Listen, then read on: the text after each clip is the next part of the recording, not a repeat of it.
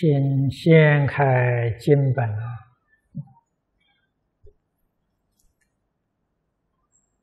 第四十三页，四十三页，从第三行看起。啊。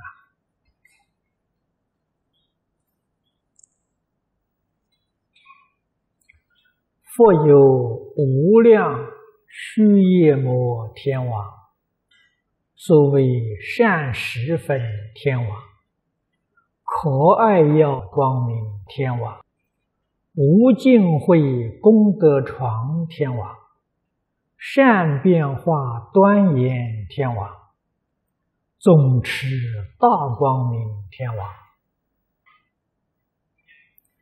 昨天介绍到此地。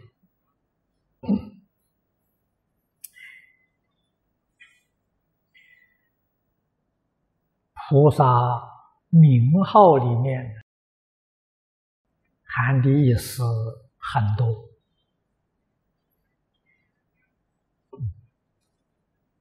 我们越是能够深入对自己修学利益越大。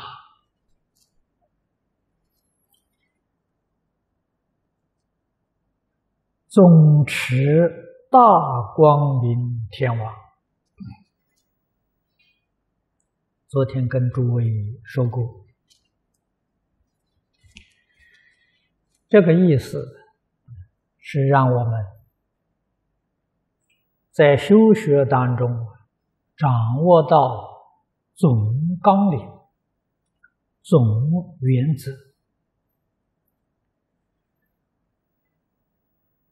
总持在梵语里面称为陀罗尼，翻成翻成华语叫总持，意思就是总一切法，持一切义。前面跟大家说过。实际上，法法都是总持法门。这个要紧的，就是一门深入，你才能够做到总持。如果你修学的，法门太多，太杂了，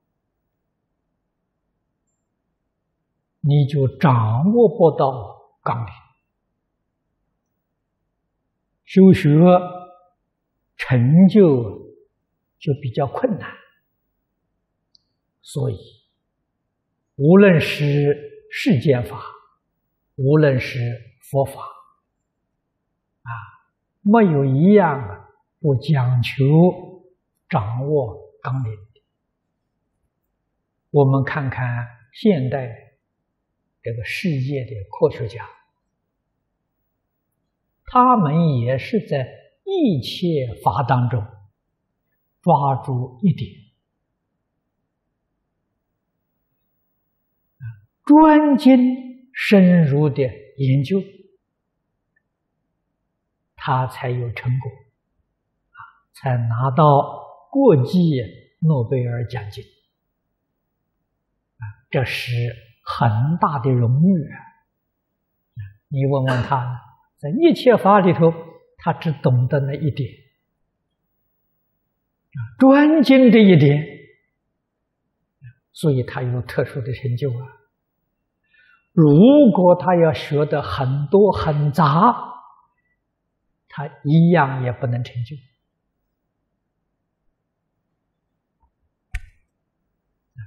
事出世间法都不能违背这个道理啊！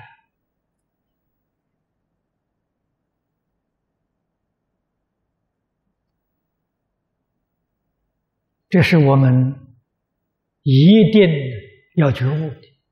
你要想真正有成就，只有这个办法。在近代佛门里面，元婴老法师，我们读元婴法师的传记，老法师二十五岁发心学楞严，学了一辈子。他《楞严经》讲义的完成，他七十四岁，二十五岁到七十四岁啊，啊，所以才有这个成就啊。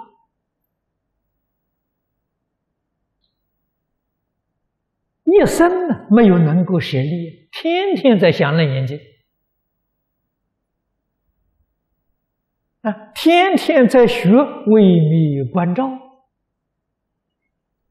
他才有这个成就。在家居士也不例外。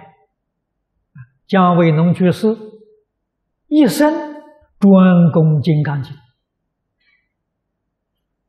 专研究《金刚经》古来的著书。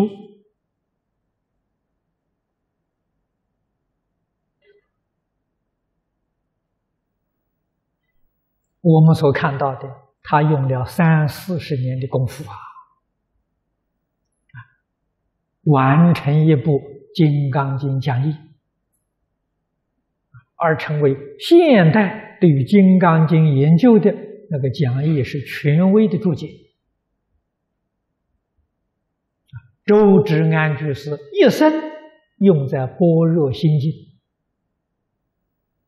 也是几十年的时间呢。成就一部《心经全注》，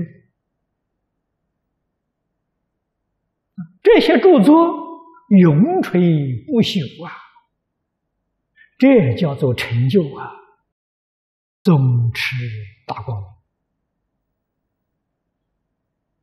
谁懂得，谁能掌握，他这一生必定成就啊！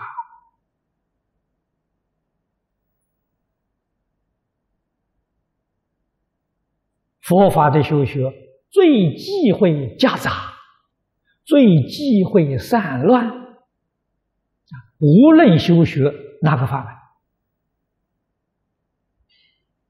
门，啊，一杂一乱，充其量变成佛学。啊，某人佛学很渊博，啊，这个佛学常识啊，你看得多，你听得多啊，你没有入门呐。你没有开悟啊！换一句话说，你烦恼没有断呢，你依旧有分别执着妄想，你还是凡夫，你没有能转境界，你还是被境界所转，啊，那有什么用处？啊，这样啊，我们把佛法当作世间学问来学习，这错了。啊，我们不干这个事情。我们要懂得这个道理。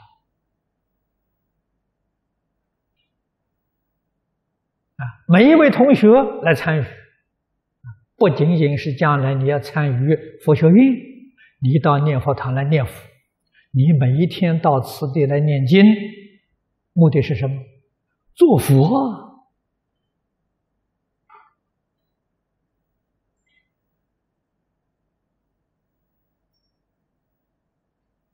有这样的志愿，有这样的恒心毅力，你怎么会不成佛呢？你有立下这样的志愿，你听经才会听得懂啊！《开经记》里面讲啊，“愿解如来真实义”，你才会解。为什么呢？你想做佛。佛力才加持你，不想做佛，天天听听上一百年，你也听不懂。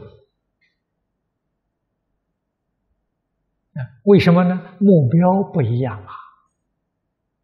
啊，你把方向搞错了，目标搞错了。到这儿来是来做佛的啊。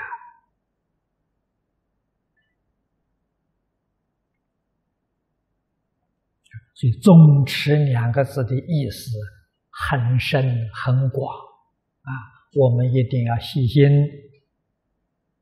去体会。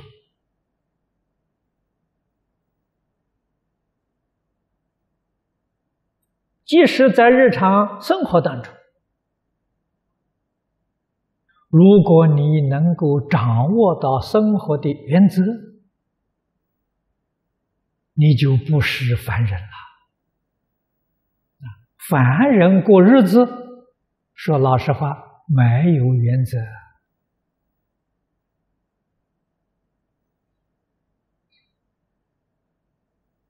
随顺烦恼，随顺习气，随顺人情过日子，啊，所以那个日子过得很辛苦啊。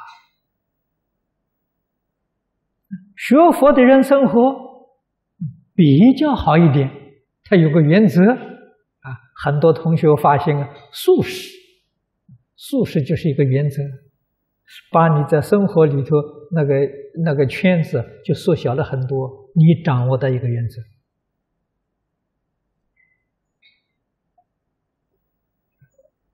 素食再要能加上清净心啊，加上慈悲心。你这一生生活就非常美好啊！啊，健康长寿啊！哎，虽然不能讲长生不老啊，可以说不容易衰老啊，可以做得到的。这个里头啊，要有清净心，要有慈悲心。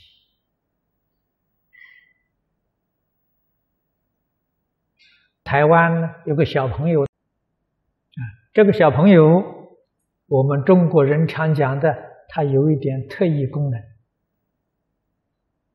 他能够见到一般人见不到的无形的那些妖魔鬼怪，啊，他有能力见到，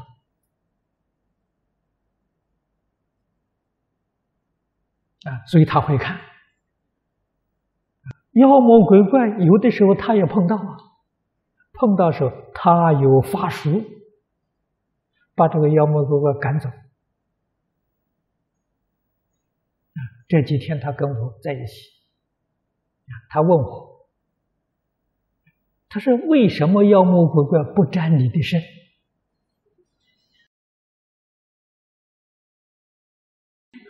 啊，他觉得比我矮一矮一层了。妖魔鬼沾他的身，他有办法把他赶走，但是妖魔鬼怪不沾我的身。他问我什么道理，我就告诉他：心地清净的，所有一切邪就不能够侵入；凡是邪毒侵入啊。都是你的心不清净啊！你心里头有三毒啊，外面这个邪毒才会感染啊。你里面清净，外面再严重的毒害也不能够侵犯你，就是这么个道理。他还会有妖魔鬼怪找他，他心不清净啊。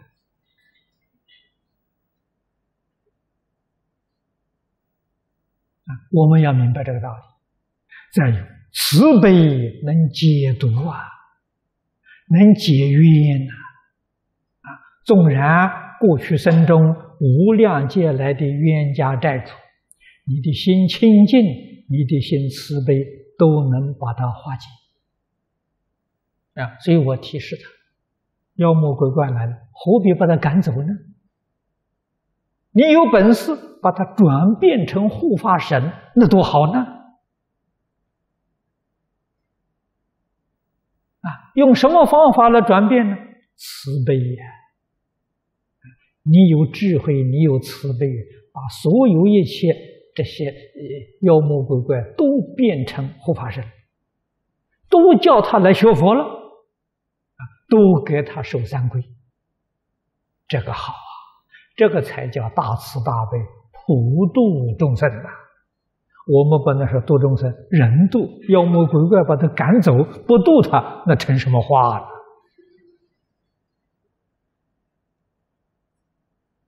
啊，这四弘誓愿说众生无边誓愿度，妖魔鬼怪我不度，那那这么讲吗？这讲不通啊！通通要度啊！啊，毕竟他还年岁很小啊，但是这种能力会失掉的。啊，如果年岁再大了，接触这个世界，这个心里面要起贪嗔痴慢呢，这个能力就失掉了。啊，所以佛在经上常常告诉我们呢。这个通啊，六通啊，从哪里来的？禅定得来。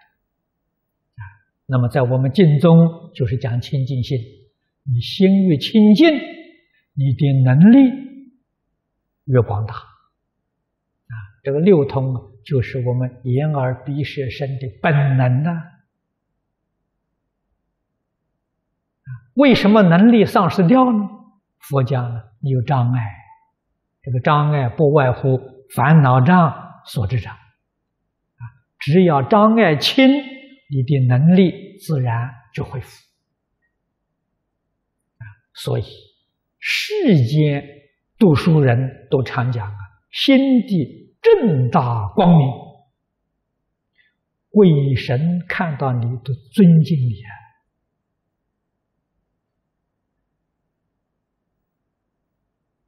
你心地有邪恶。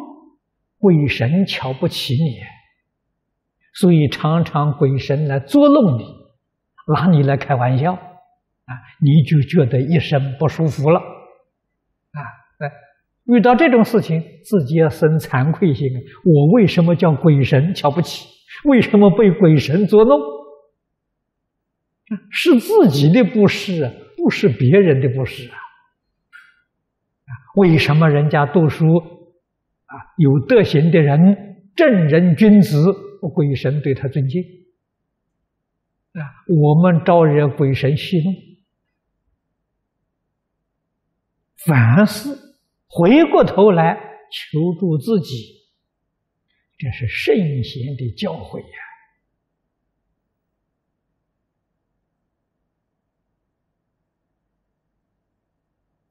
那么至于。陀罗尼总持后面还有很多地方都会讲到的啊，这个地方啊就介绍到此地啊。大光明就不必说了，大光明是真实智慧。我们《无量寿经》里面教我们住真实慧，跟这一句的意思完全相同啊。住真实慧呀。就是总持大光明，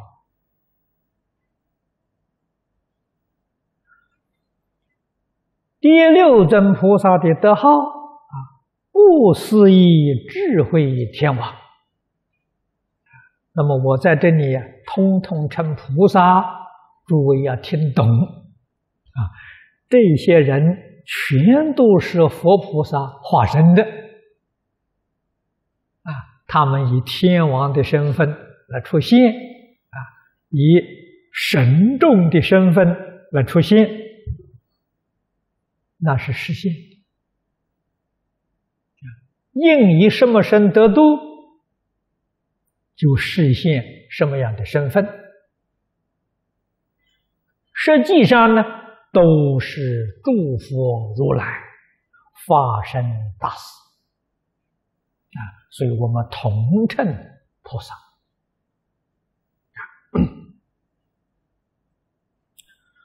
不思议智慧，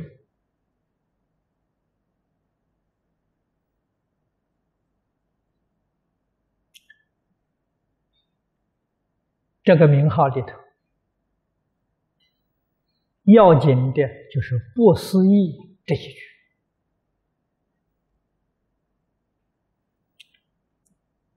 凡是落到思意，就不是真实智慧。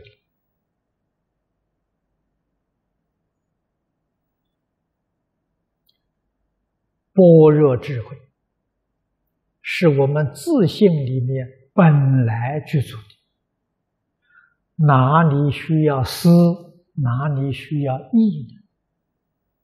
思是思维，意是议论，这是说明真实的智慧绝不通过思维。如果。像我们平常一般人遇到什么事情，哎，让我想一想，再告诉你，想一想什么就死了吧。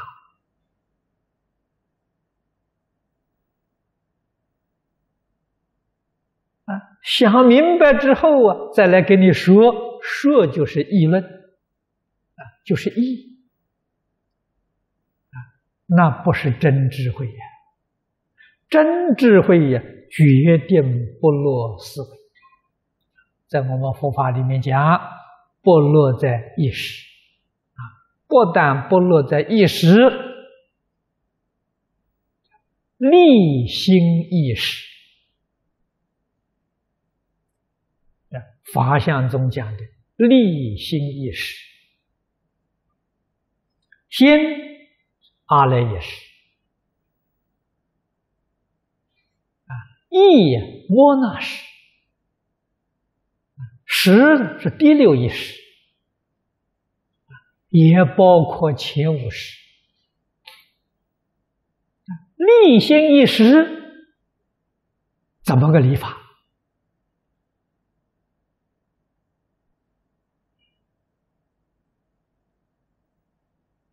这个问题很重要啊！你不能立心一时，你就是凡夫。你要果然会立心一时，哎，你就是佛菩萨了。佛菩萨跟众生不一样的就在此地啊，这法相中所说的。这个事情很难懂，我们从它作用上来看。比较容易明了。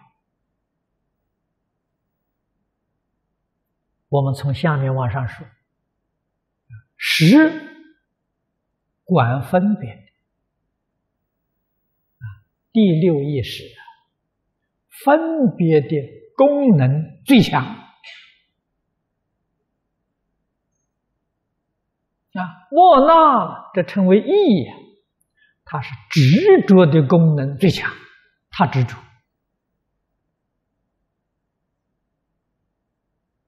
阿赖耶识含藏种子，用我们现代化的时候，落印象啊！我对于某个事情啊，印象很深呐。阿赖耶那个种子力量很强，就力量很，印象就很深嘛。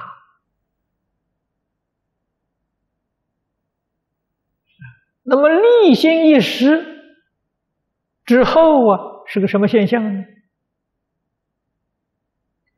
不分别就立第六意识，不执着就立莫那识，不落印象就立第八识。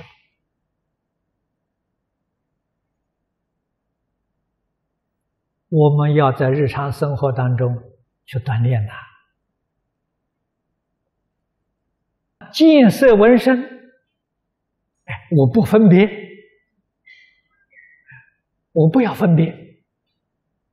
你有没有立第六第六识？没有离呀，我不要分别，已经在分别了。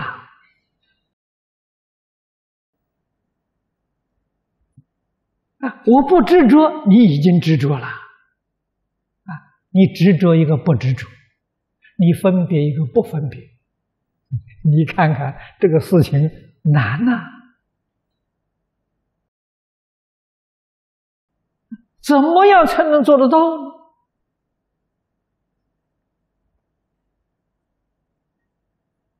禅宗里面叫坐禅，用坐禅的方法，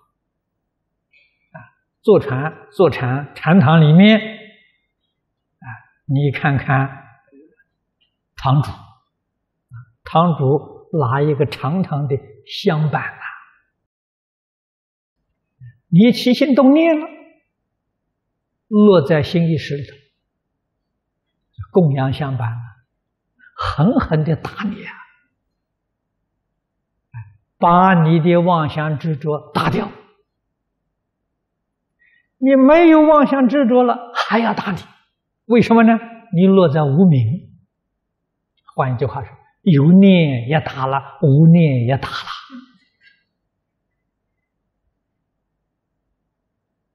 那是禅堂的办法。不过。堂主很慈悲，啊，一定打到你开悟为止。啊，如果打死了都不开悟啊，他不会打你的。为什么？他看你没用处，你不会用功夫。啊，这个是堂主的慧眼呐，他是过来人呐，啊，他能够看得出来，你会不会用功，你功夫会不会得力。啊，他有善巧方便，有道理。如果你遇到的不是一个居延之时，他也学堂主的样子，天天打你，那叫造罪业。你被他打得很冤枉，他打人造罪业。啊，这个事情很难。而在念佛堂当中啊，就是一句阿弥陀佛所以当你念头一起的时候，南无阿弥陀佛，把所有一切妄想分别执着，通通归到阿弥陀佛。这个法子妙啊！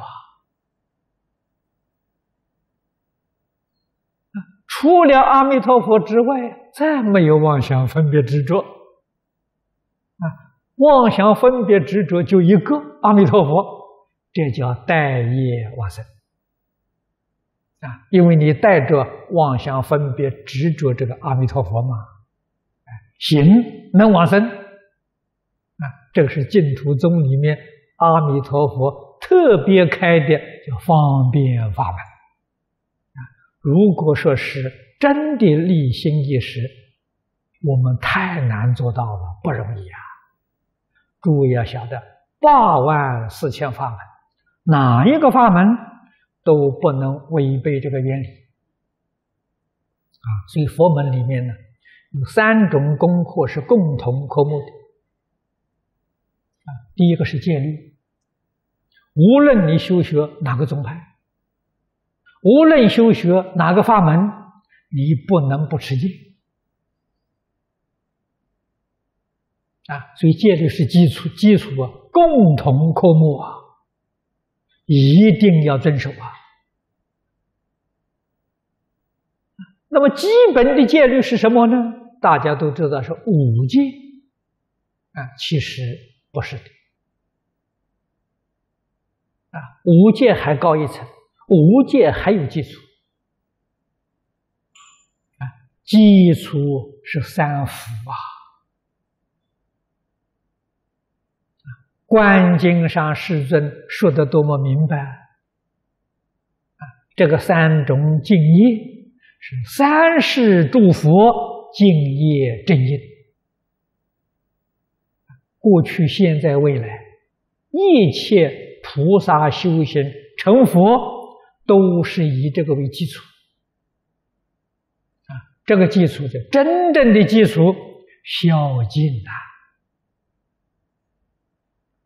孝养父母，奉事师长，这才是基础。从这个基础上，先修十善，十善是做善人，断恶修善，然后才受戒。啊，所以到第二福啊，才受持三规，居住中戒。你才晓得五戒的基础是十善呐，十善的基础是孝敬。你要不把这个搞清楚，你怎么能入门？啊，我们看到多少学佛人出家在家，啊，修行几十年，功夫不得力，什么原因？没有打好基础，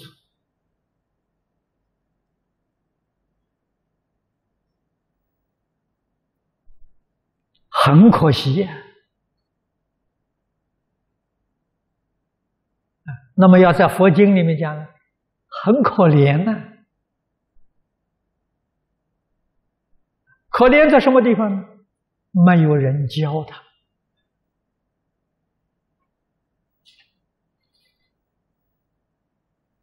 无量寿经佛也很感叹的说：“先人不善呐，没好好教啊，不能怪他啊。”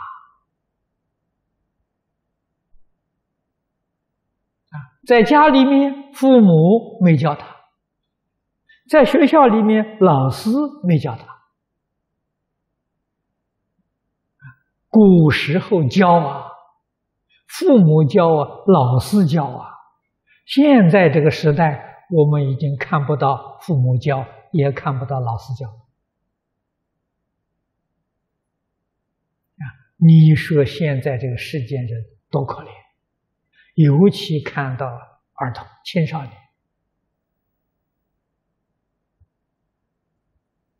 啊，我们看到很同情，很怜悯啊，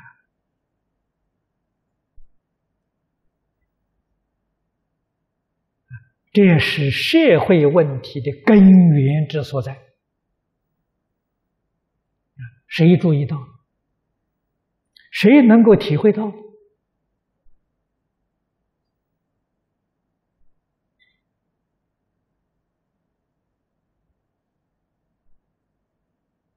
所以我们今天说我们教育啊很特别、很特殊，其实这种教育在古时候很平常、很普通啊。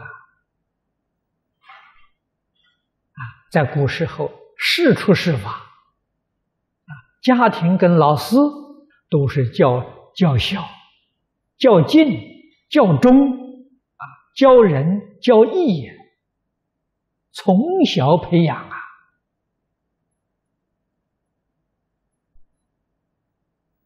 啊，儒家教人修养，道德仁义礼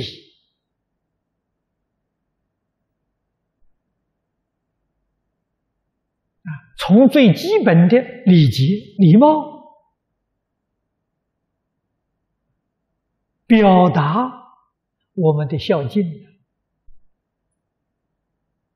啊，然后从礼再往上提升。提升到义，提升到仁，提升到德，提升到道。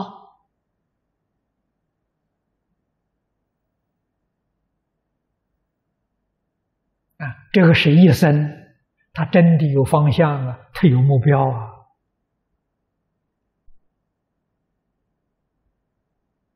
他人生有意义、有价值，这一生呢，绝对没有空过。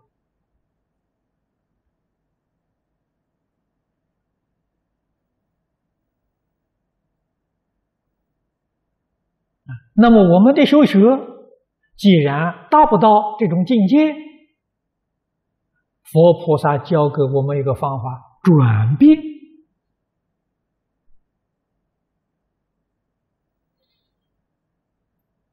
净宗的方法，在所有法门里面最方便、最稳当啊！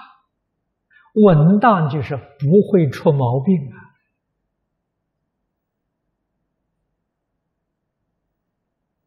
这个出毛病，在现在人家就着魔，念佛人不会着魔，什么原因呢？念佛人有阿弥陀佛加持，有十方三世一切诸佛如来加持，不容易着魔啊。那我们看最容易着魔的是学密跟学禅，最容易着魔的，尤其是心里面不清净，喜欢神通，喜欢感应。啊，这个是最麻烦的事情。啊，要知道喜爱是烦恼啊，啊，烦恼啊会跟魔相应。啊，你看世尊在《八大人觉经》里面给我们讲的四种魔，就烦恼魔，天魔，内有烦恼啊，外面很容易招惹天魔啊。天魔就是外面的妖魔鬼怪啊，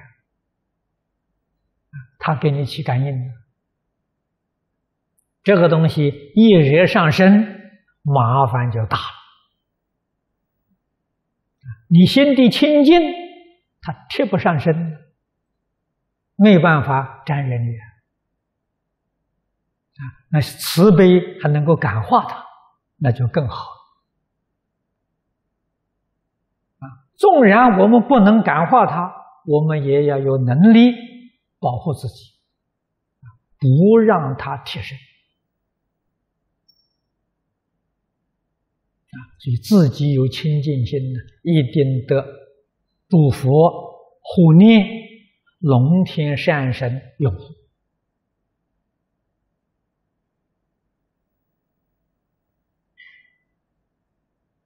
那么这说念佛人功德不可思议啊！我们这一句阿弥陀佛就立心一时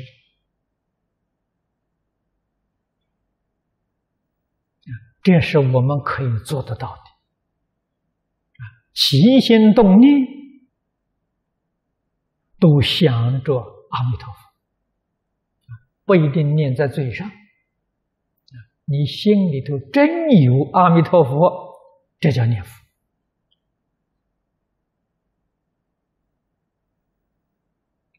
这就是不思议智慧呀！这是真实的智慧。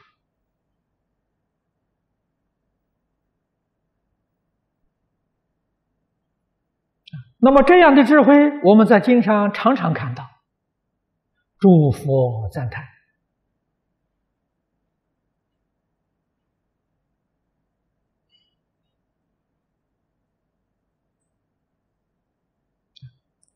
天龙善神恭敬护持，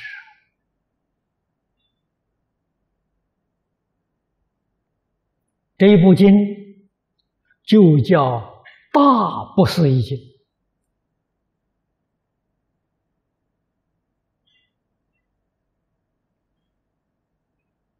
而这部经，古大德告诉我。戒归净土啊！华严到幕后，普贤菩萨十大愿望导归极乐，所以隋唐大德们跟我们讲啊，华严法华也只是。无量寿经的导引而已。如果我们用佛经的体例来说，佛经有三分：序分、正宗分、流通分。华严法华续分呐，无量寿经正宗分呐，小本阿弥陀经是流通分呐。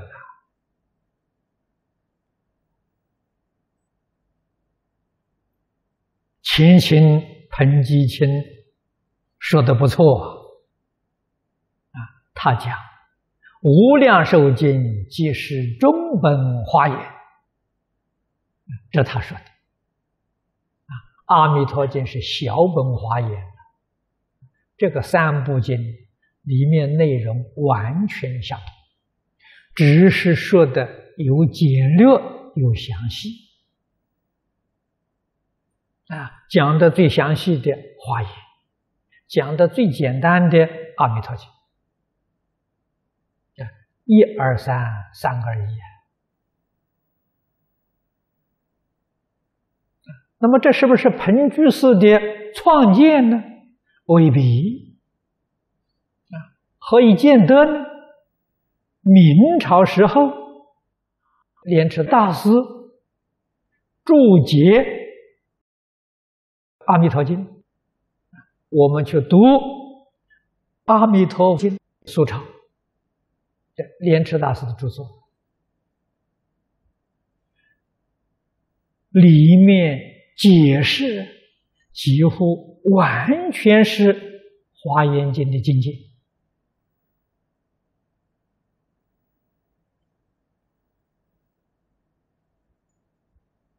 啊，那么可见的莲池大师早就肯定了，小本弥陀经跟华严没有两样，他拿华严经来注解阿弥陀经。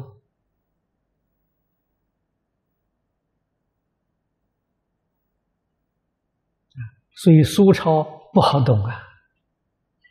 看这个《阿弥陀经》的经文好像不难懂，看看莲池大的苏超啊，反而就难懂了。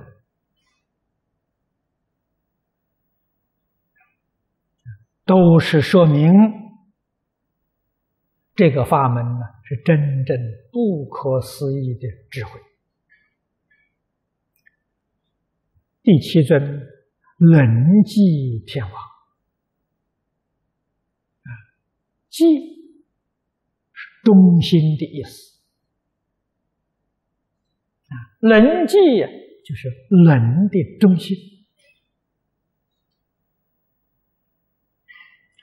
我们从这个意思去体会，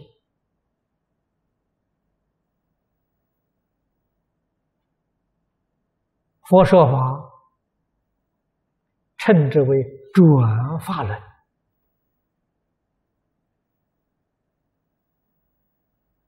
所以在佛门，最早就是用轮来表法，轮确确实实可以代表圆满了。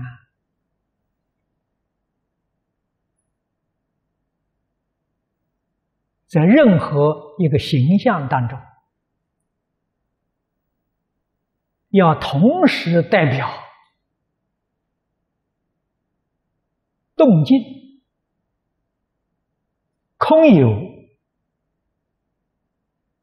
啊，是一，是同时存在的，很不容易找到。可是，在人的这个现象里面呢，居然很明显的让我们发现。你看，人是动的。人要不动就不起作用了。今天社会的进步是什么东西带动了？能带动。啊，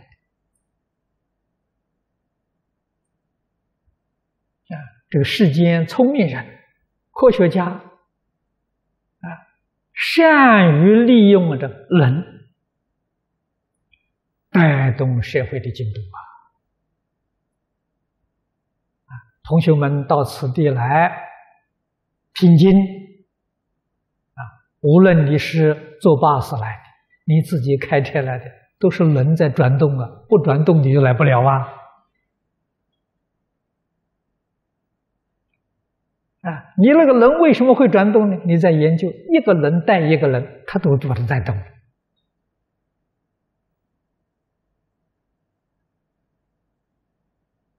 所以人是个动向啊，可是人的心不动，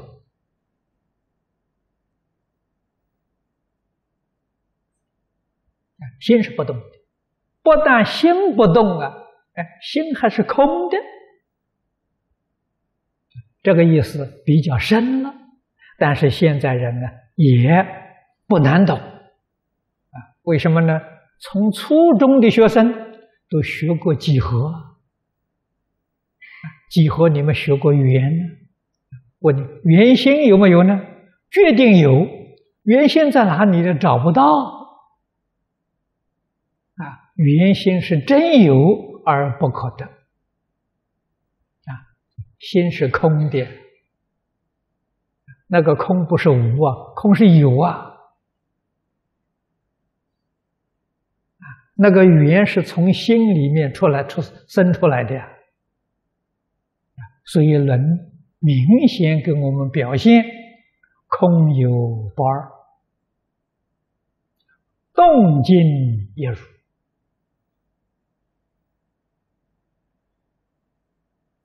佛教我们从这个。形象里面去观察宇宙人生啊，我们先观察一个人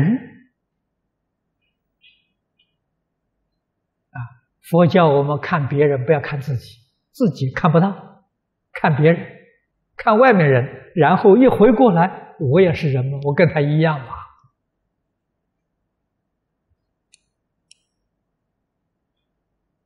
啊，我们看是心不能动哎，心没有啊，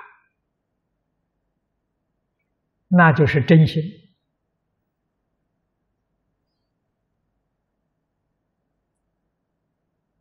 如果你心里头有东西了，你的心就坏了，你的心有毛病了。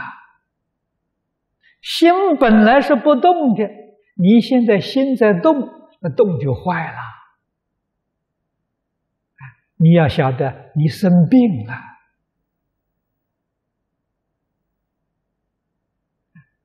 这个心就是圆心呐，我们这个身体呀，就是圆周啊，就是轮呐。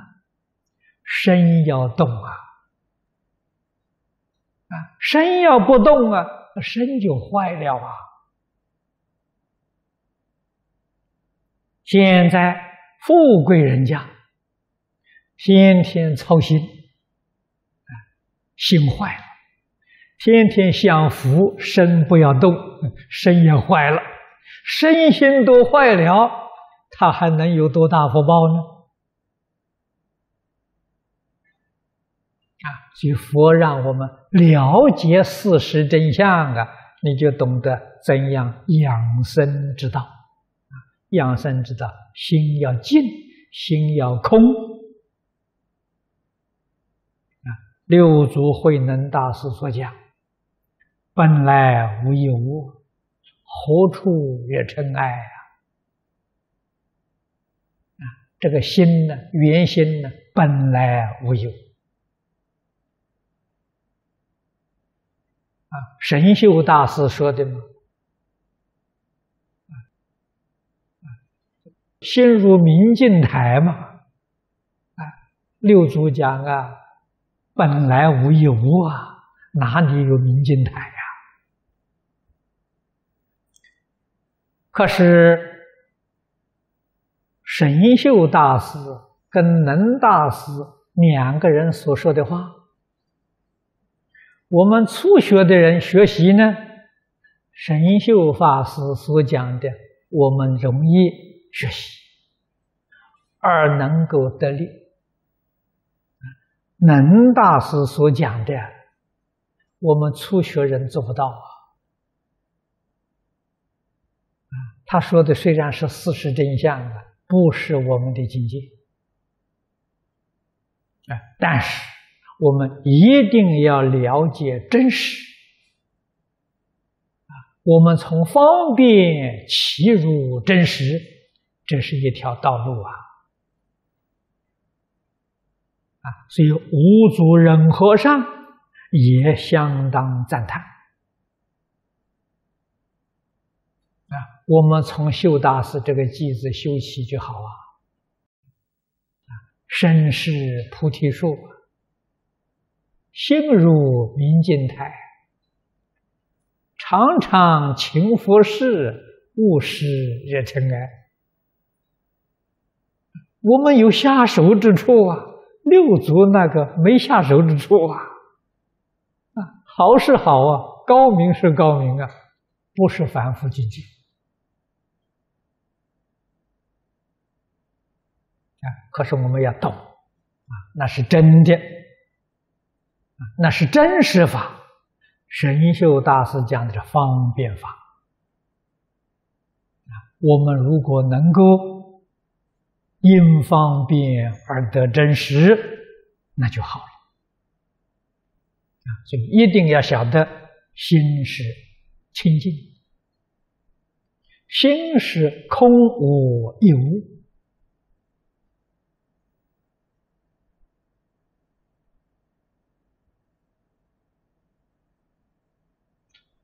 虽然空，它能现一切相。一真法界是它变现的，十法界一真庄严也是它变现的。啊，离开心，无有一法可得，这是真理天。才是真正的自己。佛家常讲，父母未生前本来面目是什么？就是你的自信，就是你的真心啊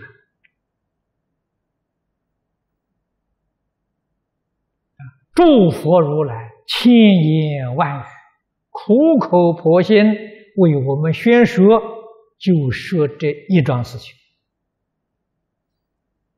所以宗门有一句话说：“若人识得心，大地无寸土。”啊，就是形容这个意思。你要是明心见性，一句话就不要再说了，没得说的了。净虚空变化界，你全部都得到了，还有什么好说的呢？正因为你不认识自己，不知道自己真心，迷失了自己的本性，佛才有法可说。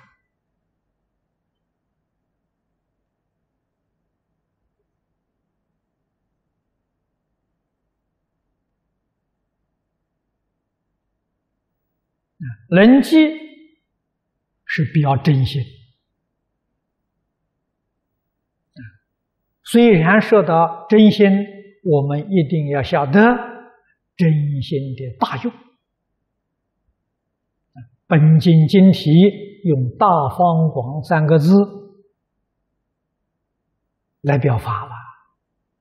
啊，大代表心之体，方表心之相，广表心的作用。一二三，三二一。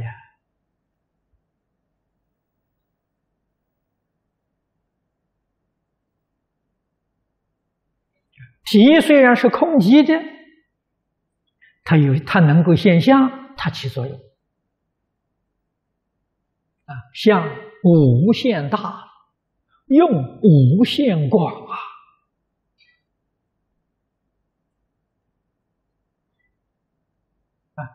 人即天王所表的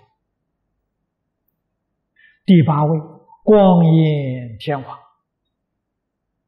跟下面第九位光照天王，都是说的全知。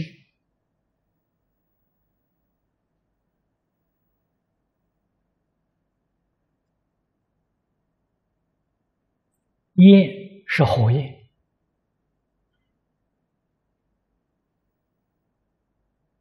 啊光是光明。用这个来表法。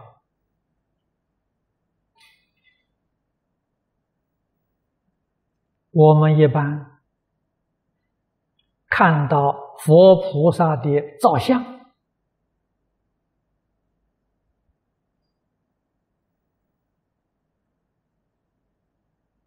啊特别是密宗造像比显宗更多啊。看到显宗是用个圆光啊，啊，密宗这个圆光是火焰啊，声光啊也是火焰啊，这个就是光焰。所表的意思，啊，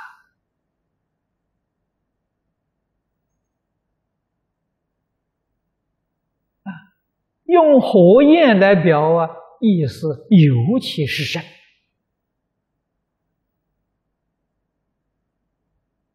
表智慧之火，烧烦恼之心呐，也就是。消除烦恼障根所知障。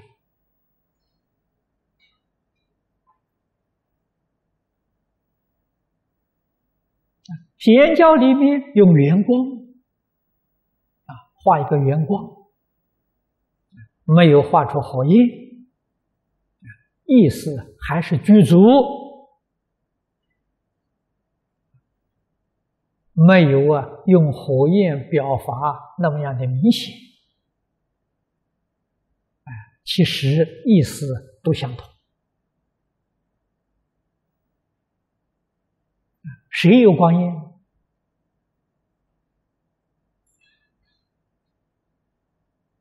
诸佛菩萨有，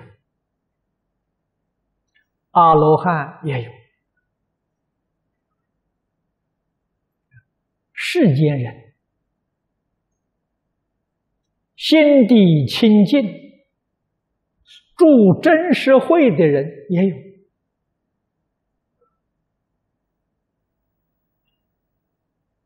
乃至于化身大师硬化在六道里面，他要硬化在畜生道，畜生道也有。硬化在恶鬼道里的恶鬼道也有，硬化在地狱道地狱道也有，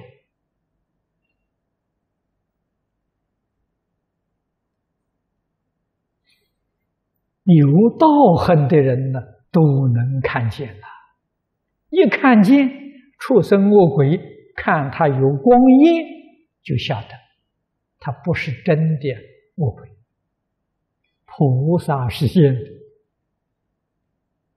啊，那是菩萨化身。菩萨为什么要变恶鬼、变畜生呢？度那一类的众生。度哪一类的众生呢？一定要现同类身，你才能度得了他，你才能帮得上忙啊！啊，我们人跟畜生沟通就很困难。我们跟他讲经说法，他听不懂啊！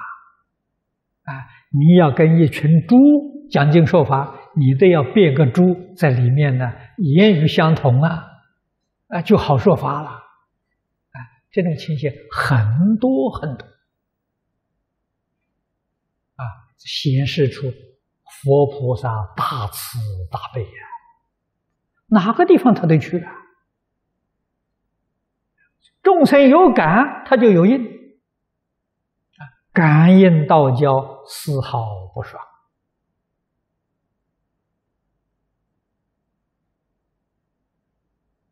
那在我们凡夫人心里面想的，呃，人道还勉强啦，那畜生道那个生多难过啊，那恶鬼道更可怕了，啊，这是凡夫的心态。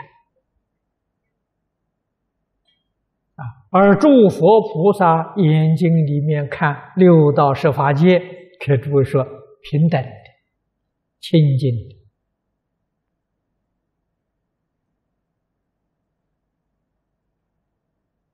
我们为什么看这个世间不平等、不清净？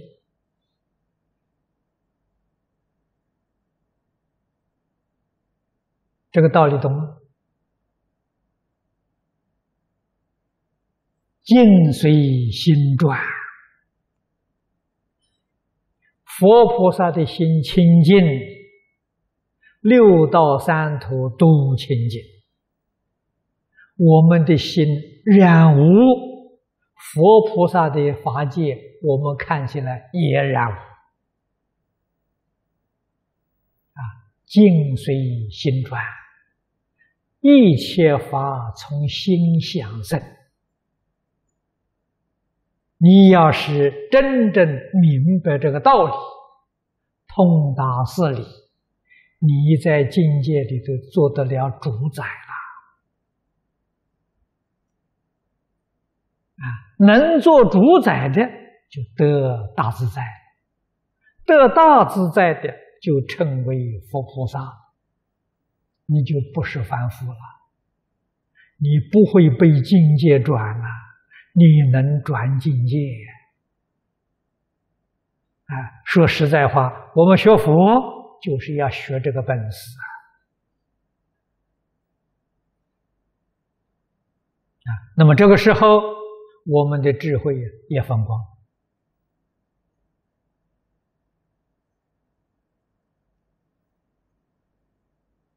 啊！地下一层光照天王，这意思更明显啊！以智慧光明遍照法界。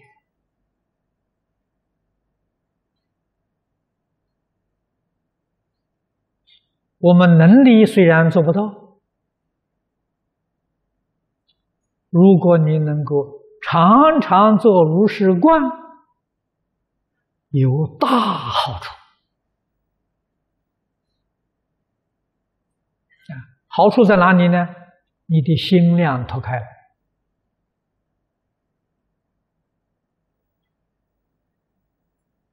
啊，这个光是什么光？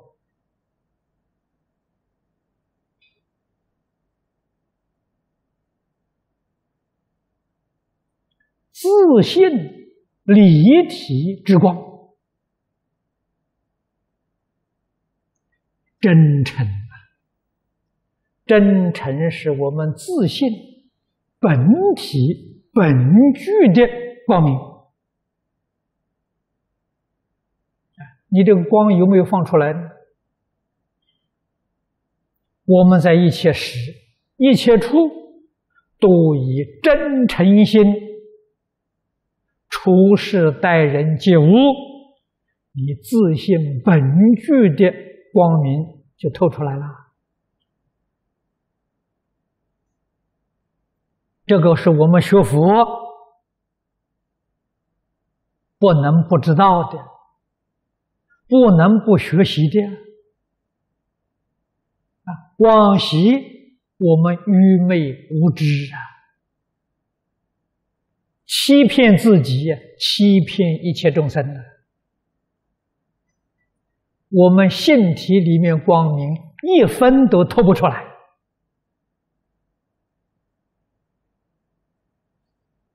啊！所以我们的修学功夫不得力嘛。现在我们明白了，搞清楚了啊！我们见到佛菩萨了。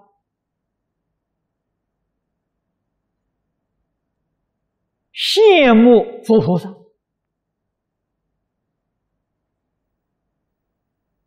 崇敬佛菩萨，很想跟佛菩萨一样。那佛菩萨告诉我们：不难呐，你本来是佛菩萨。那这个佛在这个经上说的：一切众生本来成佛嘛。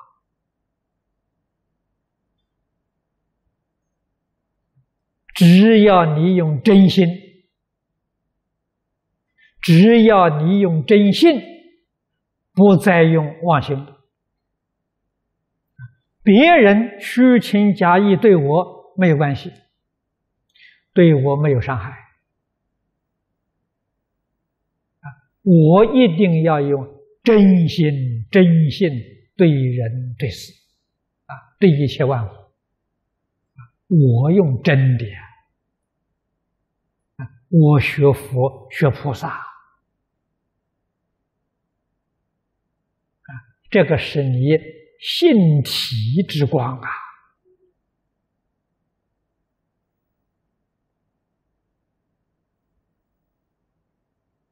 清净平等觉是你本具般若之光明。经上常讲根本智这是属于根本智。大慈大悲是厚德智啊，利益众生，利益法界。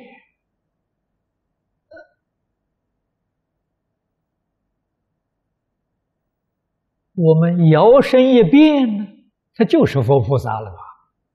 你跟佛菩萨有什么两样呢？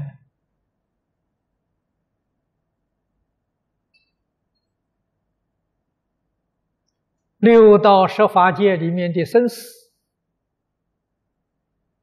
眼前许许多多的灾难，那我问你，你还受不受呢？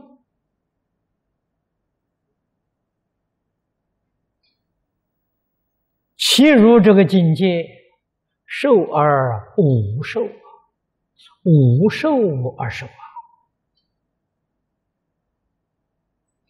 没有一样不得大自在，真正解脱。所以，我们一定要用自己的光啊，自信之光、般若之光、解脱之光、善巧方便之光。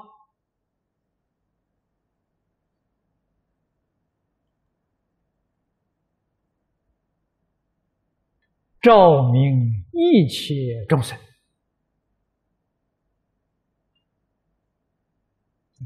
这是真修行。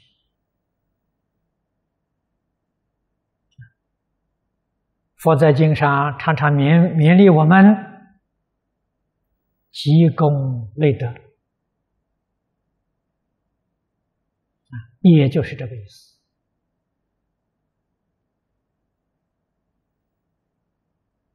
对自己呢，照见。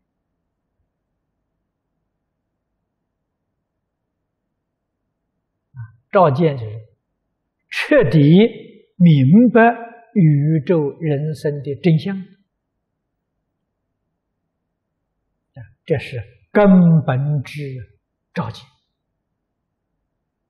厚德之利生，利益一切众生。光照天王所表啊！幕后普观察大明称天王，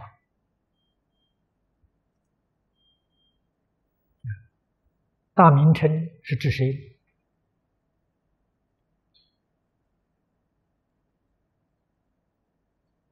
啊，我想我们的同修。不难体会呀，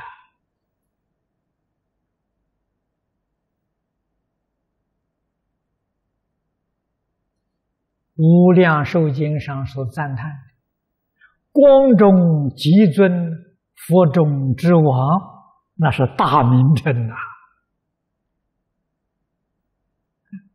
一切诸佛如来都赞叹着啊，释迦牟尼佛。代表一切诸佛赞叹阿弥陀佛，所以阿弥陀佛是光中极尊，佛中之王。那当然只有他才是大名称的。普观察大名称，这个意思深了啊。不单单是包括全部的无量寿经，也包括全部的大方广佛华严经。落到四相里面呢，那就是普观察净虚空变法界，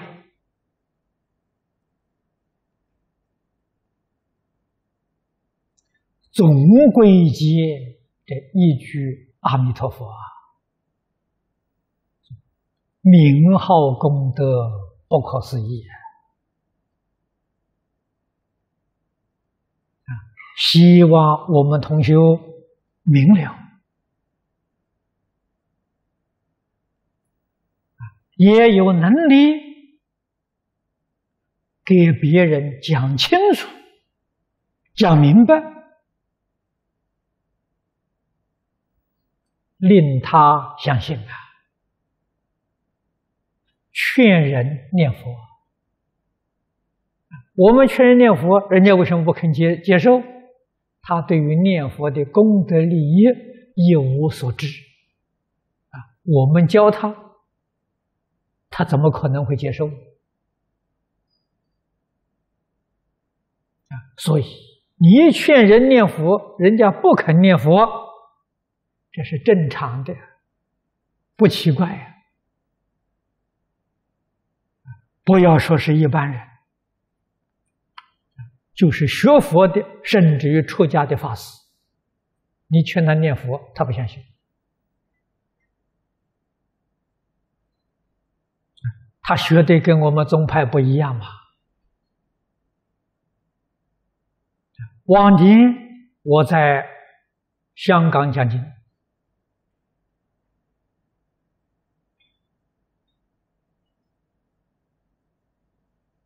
我住在。谭旭法师建立的中华佛教图书馆，那个地方我住了很久啊。主管常怀法师，常法师学天台的他供养的佛像。当中是释迦牟尼佛，啊，两旁边是迦叶尊者、阿难尊者。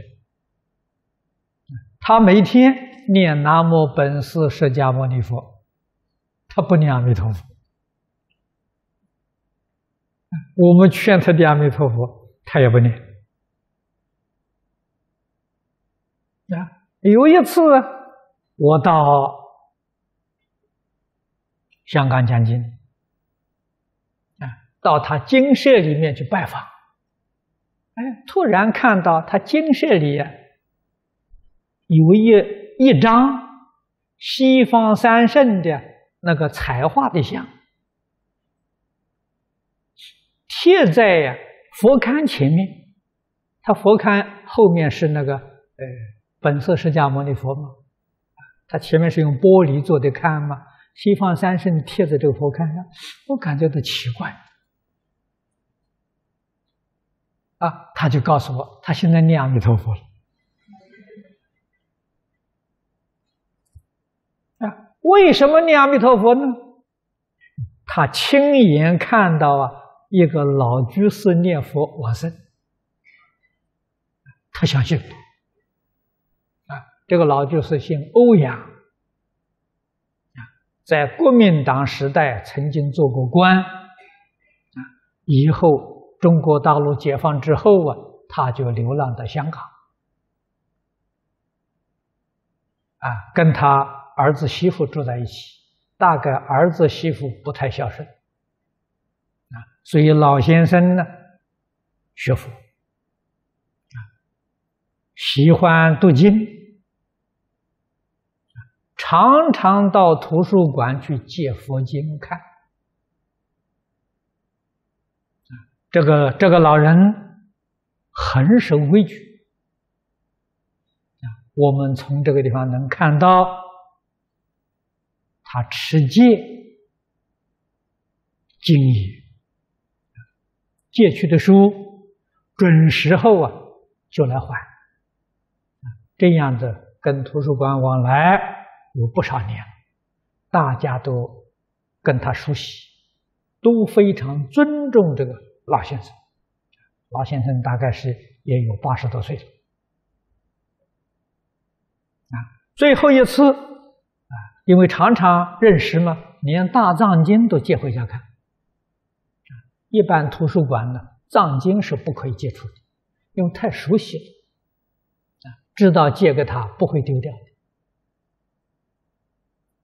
那么那一次他借大藏经回去之后，就告诉常怀法师：“他说我这一次借书我不来还了，你要派人到我家里去取，告诉他哪一天，啊哪一天，哎，你到派人到我家里去拿这个书。”常怀法师听了就很诧异：“难道他要走了？”看看又不像，说啊，这老先生精神很好嘛，没事嘛，怎么说？怎么可以说是要走呢？反正就不管了，把日期记下来，到时候派人到他家去拿书。那么他指定的这个日子啊，到这一天，常怀法师就派人到他家里把藏经取回。啊，大概是上午。啊，上午十一点多钟时候派人去，老先生在家里看书，在看经。图书馆人来了，他说：“你来干什么？你不是叫我今天来把藏经取回去吗？”“是啊，我没叫你这个时候来啊。”那么当然，年轻人呢，啊，也不好顶撞老先生嘛，那就算了，回去了，明天再来。明天来了之后啊，这个老先生家里人就说：“老先生往生了。”这昨天我来的时候在看书啊。说是啊，你来了之后两个小时他就往生了，他就走了。说怎么走的？看书走的。啊，而且看书那个姿态很很压抑的，啊，他是一个腿呀，抱着膝盖这么走的。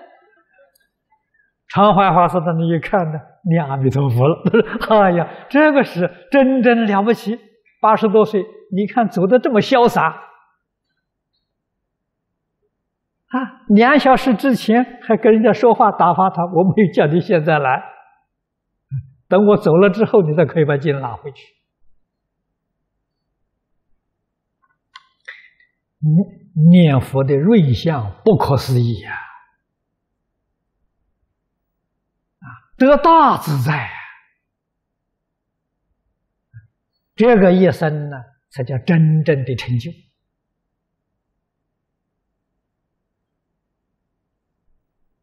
啊！所以常怀法师是亲自看到了，他才相信。我们平常劝他不相信，一定要亲自看到就相信。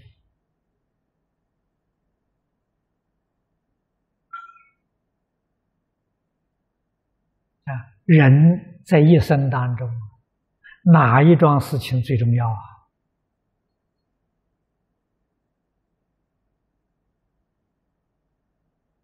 这些年来，在台湾，在美国，啊，在大陆，啊，香港、东南亚这一带的地区，站着往生，坐着往生，欲知实质。没有生病，这种人太多太多了啊！我们看在眼里，听在耳里头，依旧还随顺烦恼，麻木不仁，自己能不惭愧吗？能不觉悟吗？如果依旧这样麻木下去，以后到哪里去？走的时候生病病苦，啊，病重的时候人事不省，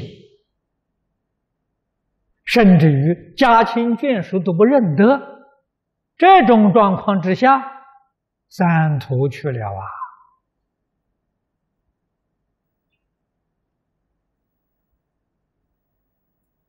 所以，世出世间圣贤人教我们断恶修善，求福啊！世间人讲五佛，五佛最后一个是好死啊！啊，什么叫好死？死的时候神志清楚，清清楚楚、明明白白。这样人走的时候，他要是不学佛，也不会落三恶道。他来生还能得人生，甚至于升天道。这好死啊！真有福报啊！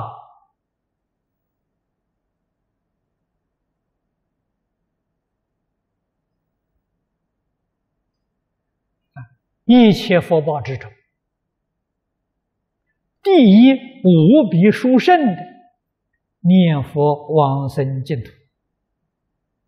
往生净土是你在一生当中不退成佛，没有比这个更殊胜的。你要是真心发这个愿，诸佛就护念你。天龙鬼神没有一个不恭敬，没有一个不拥护你。你这个心稍微一退，佛菩萨也走了，护法神也没有了。如何坚持啊你的信心、愿心？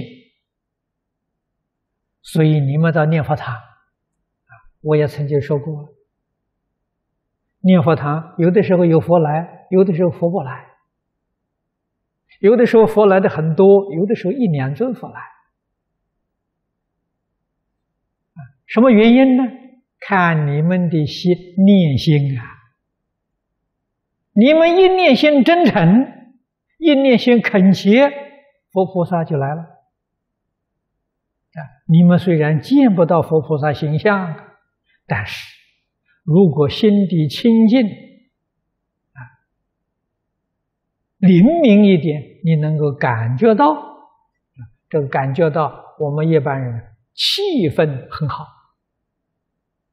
哦，这个念佛堂磁场好，气氛好，有佛菩萨在。啊，这个念佛念佛堂气氛不好，磁场不好，进去之后浑身不舒服，佛菩萨不在，护法神不在。他为什么会来？为什么不来？感应道教，我们念佛的人心有感，佛菩萨就有应，不是他啊，有空就来了，没空就不来了，不是啊。他喜欢就来了，不喜欢就不来了，也不是啊。呃，是我们有感他就来了，没有感他就不来了。啊，感应道教。同学们要晓得这个道理啊！我们心有感，我们这个感呢，永远不中断，佛菩萨就常住此间，就是这么个道理嘛。啊，如何叫我们这个感永远不中断呢？念念为佛法，念念为众生。啊，念念为无上道，这个念头永远没有断呐！啊，念睡觉的时候也没断呐！啊，睡醒第一个念头还是为众生，还是为佛法，这念头永远不中断，你就得祝福永远的护念。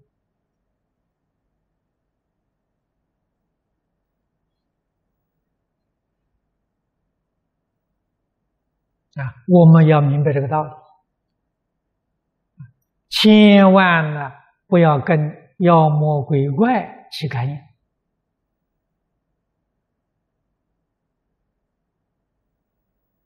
啊，什么是妖魔鬼怪呢？疑心啊，你对这个有怀疑啊，谚语常讲，疑心生暗鬼呀。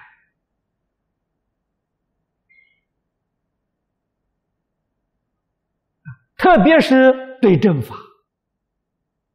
啊，对佛法有疑惑心，佛菩萨不现前，妖魔鬼怪现前。啊，这妖魔鬼怪也不是他自己来的，你自己招来的呀。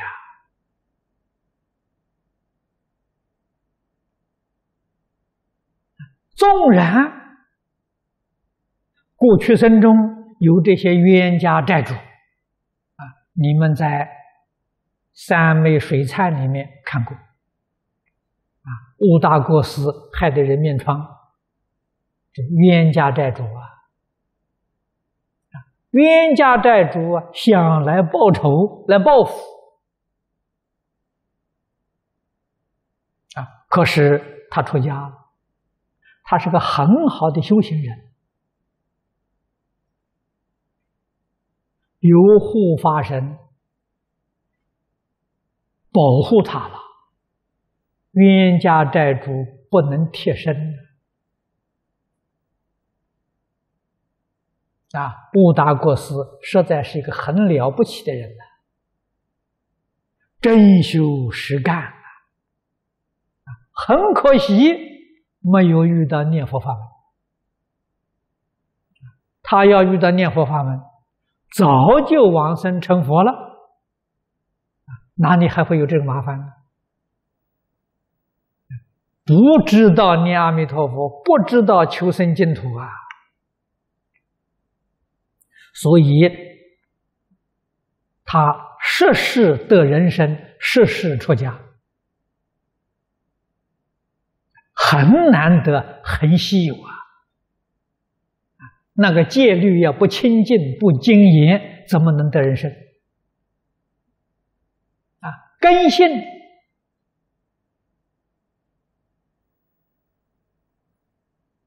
要不成熟，怎么能够生生世世都出家？都是一个好修行人，太难，太难。到第十世的时候，你看看还是敌不过烦恼习气。到第十世道行高了，啊，做了过师了，皇帝的老师，你才晓得在世间要做上过师，哦，大概是很多世的修行啊，不是一世啊，哪里说一世修行就能做过师？没有这个道理的呀。多少生多少世的修行，才有这个果报现前啊！这做了过师了，皇帝的老师了啊！可以说，不但得到一般信徒的尊敬啊，哪一个出家人敢不尊敬他呢？啊！皇帝供养他一个沉香宝座。沉香大家知道啊，现在是论两算算的呀，啊，用沉香雕的狮子座啊，啊，皇帝供养他，他得到这个狮子座啊，很高兴，很开心呐，啊，傲慢心生起来了，哎，也就值得骄傲了，这一值得骄傲啊，这护法神跑了。这个念头一起，就退转了。啊护法神走，护法神走了，他的冤家债主就贴身了。这个害了个人面疮，几乎送了命。啊，幸亏他真有道行，啊，真是一个好出家人。烦恼虽然现行，还是很轻，不是很重，重就没救了。好在还很轻，迦诺迦尊者帮他忙，把这个冤家化解，叫慈悲慈悲三昧水忏的来源。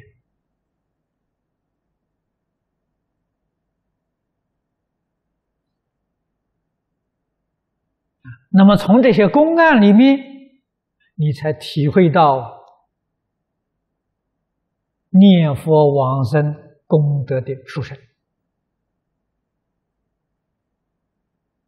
啊！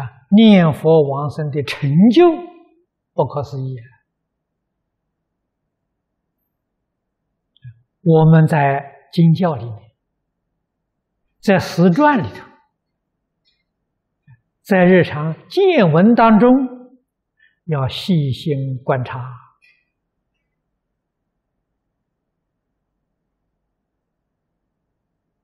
选择法门，坚持法门，永不退转。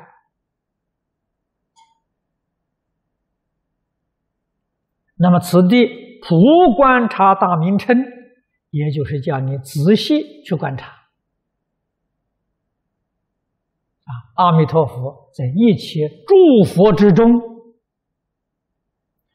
他是最受。一切诸佛尊敬的一尊佛，通常我们讲佛佛道同啊，佛跟佛都一样啊，没有差别。为什么一切诸佛特别尊敬他？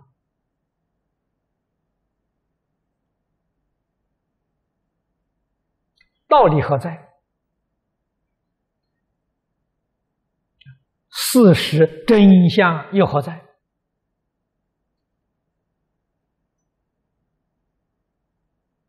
你要观察清楚啊！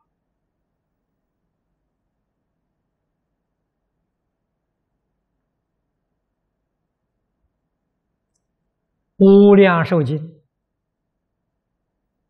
尽中第一经与一切经论做一个比较，也要观察清楚。然后我们选择这部经，一生绝不改变！依照这一部经修学，自行化他，就只有这一门。所以你要普观察。你才能够升起清净的信心、坚定的信心。《金刚经》上所说的“信心清净，则生实相”，生实相其如啊？你就入弥陀愿海，你就去如极乐世界了。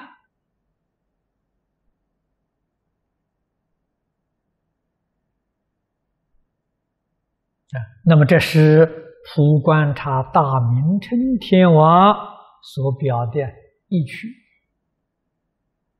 啊。这一段是表二地菩萨二地立垢地呀，各是烦恼，见思烦恼，尘沙烦恼。无名烦恼，通通都放下，通通都舍离了。如是等二位上首，其数无量。这是结束，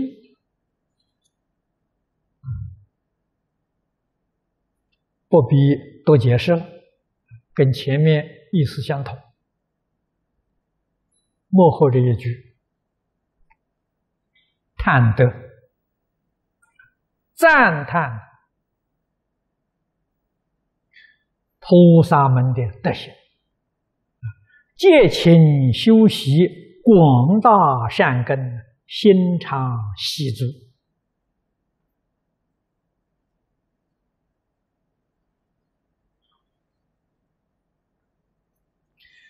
这一句非常重要，真正是言简意赅啊，文字很少啊，意思总夸二地菩萨所修的。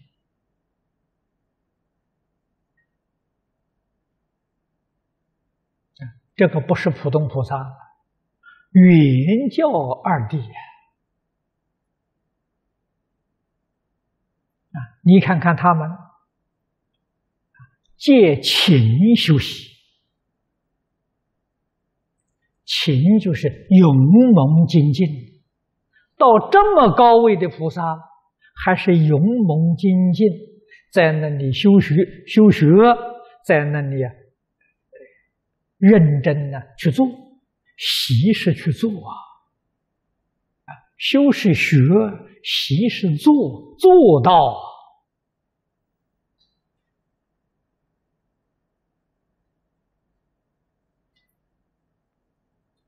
啊，他修习的是什么呢？是广大善根。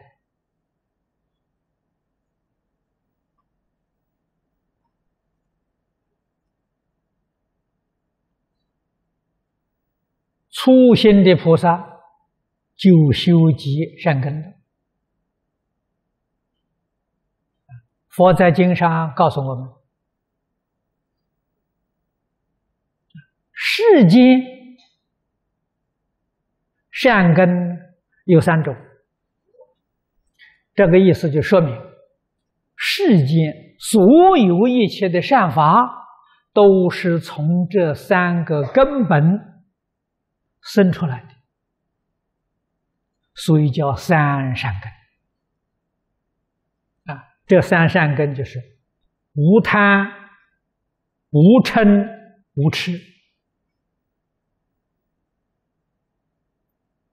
叫三善根呐。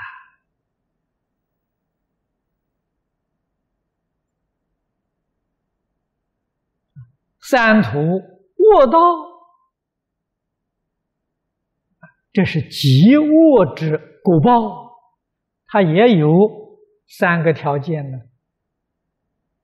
感得的果报，三毒烦恼，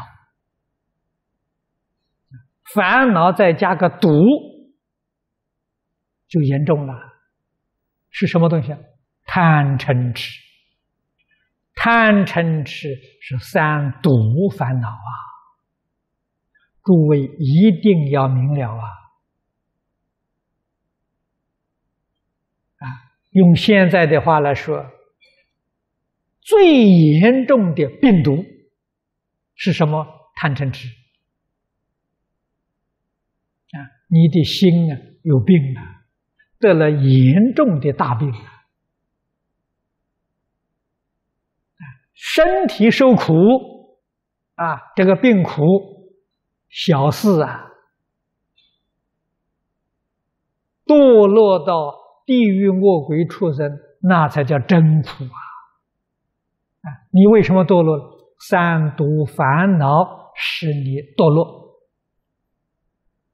你要受极大之苦三毒烦恼转变过来，就是三善根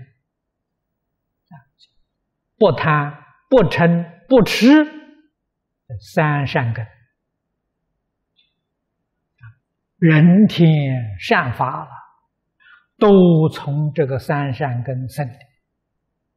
啊，我们听到佛的教诲，明白这个道理，啊，了解事实真相，为什么不把贪嗔痴转变为？无贪无嗔无痴啊！为什么还要自己跟自己过不去呢？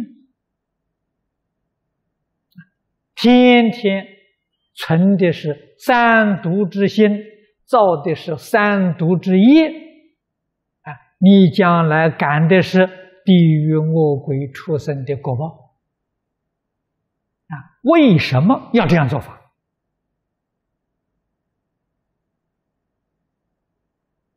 为什么不修善？不求人天福报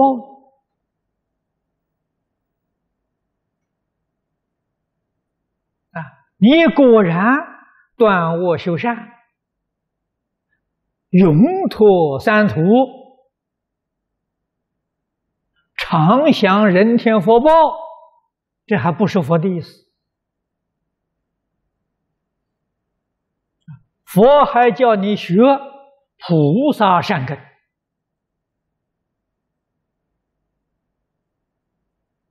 菩萨善根呢，只有一条，精进。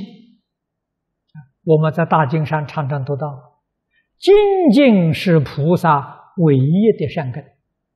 所以你看，哪一个菩萨不是借勤修习呀？菩萨是觉悟的人，觉悟的人没有一个不是勇猛精进啊！所以修习广大善根，这个善根里头包括一切佛法了啊！幕后这一句“心常喜足”，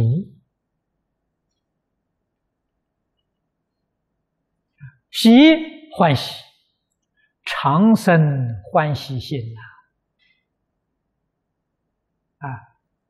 我们佛家常讲法喜充满，啊，就是这个意思。足是满足，知足。唯有知足，才长生欢喜心。啊，一个人常常忧虑，常常烦恼，什么原因呢？不知足啊！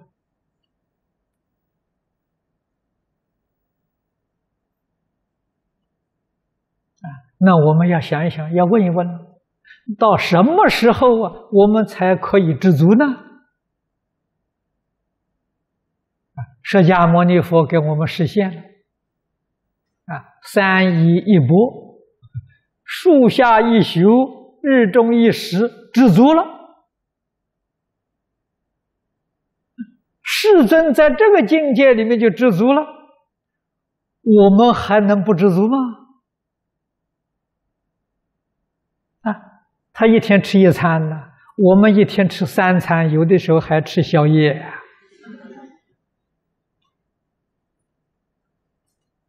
啊，他只有三衣，我们今天的时候一看看，呃，不少人都有三十件衣了。啊，他树下一宿啊，我们今天都还有不错的房子住了，你还不知足吗？